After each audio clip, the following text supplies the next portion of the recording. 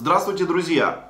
На российском сайте «Русская весна», который, как понятно уже из названия, является рупором переносчиков русского мира и профессиональных новоросов, вышло интервью с уже основательно подзабытым в Украине Олегом Царевым, который, помимо прочего, сделал одно интересное заявление в этом интервью, о котором мне бы хотелось поговорить. Само интервью абсолютно трэшево, оно не стоит вашего внимания, в нем рассказывается о том, как украинский Макдональдс притесняет русских, то есть, ну, этим российским пропагандистам им же нужно рассказывать про притеснение русских в Украине, а поскольку реальных фактов такого притеснения нет, то они, значит, находят вот такие истории, они выяснили, что в Макдональдсе, оказывается, в меню нет русского языка.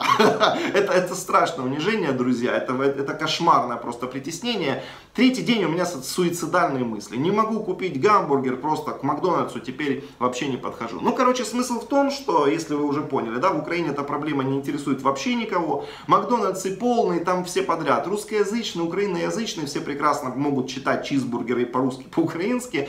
Но проблема эта волнует вот очень сильно Олега Царева, который 6 лет не был в Украине и уже давно является гражданином России, и его российских коллег из сайта «Русская весна». И вот она им не дает спать. И значит, Царев, рассказывая о вот этом чудовищном притеснении э, русскоязычного населения в Макдональдсе, помимо прочего, сделал такое вот интересное заявление. Когда начиналась русская весна, русские умирали за идею русской весны. Как правило, выигрывает та идея, за которую готовы погибать большее количество людей. К сожалению, тогда у нас не получилось не из-за пассивности людей. Сначала нас предал Янукович, потом остановили из Москвы.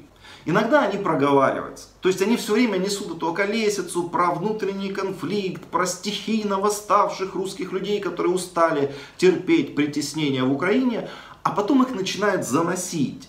И в какой-то момент прорывается правда. Особенно, когда говорит кто-то очень тупой, типа Царева. Да? И правда состоит в том, что никаких стихийно восставших русских людей, которые действовали по своей инициативе тут в Украине, независимо ни от кого, их не существует. Да?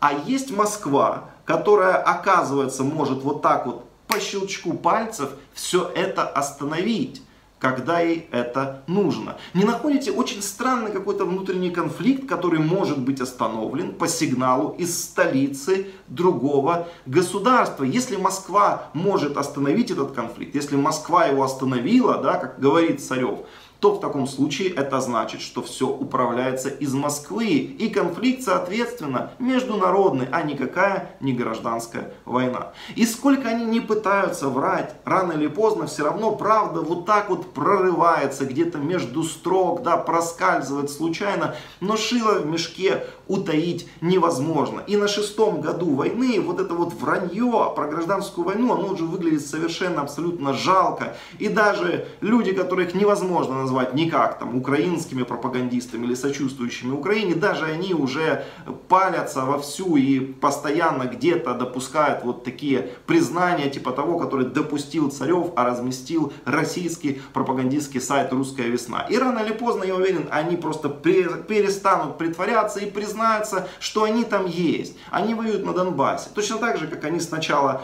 пытались сказать, что их нет в Крыму, а потом в итоге все равно признались.